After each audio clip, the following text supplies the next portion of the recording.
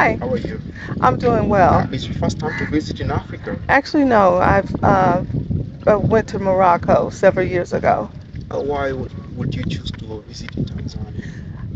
At Tanzania, I've always looked at pictures and magazines and read about Zanzibar. Just never really knew if I could ever get this way to visit. Someone hasn't visited Tanzania, what are the three words that describe your country experience? I would say the beauty, um, the friendliness of the people, and just the overall culture. Okay. In three words, how does it feel to be in Tanzania? I feel like I'm home. Um, the, it's the, the motherland, and uh, it's opened my eyes to a lot.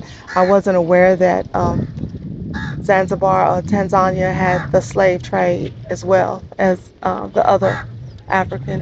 What did Countries. surprise you most about Tanzania? Uh, the friendliness of the people.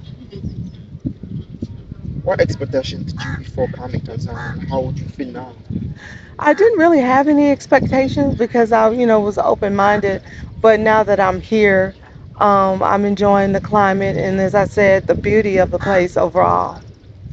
Okay, what has been most memorable for you during time here in Tanzania so far? Um, the the visitation, visiting Stone Town, and and also um, the slave market trade.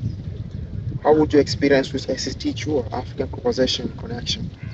Um, uh, the food.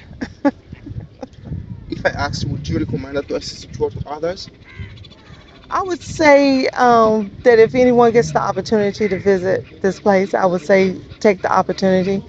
Um, you won't be disappointed. Any any other insight or reflection would you like to share about Tanzania experience?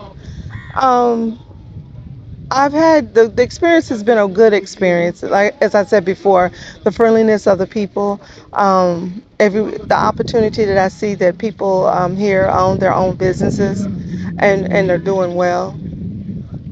Thank you.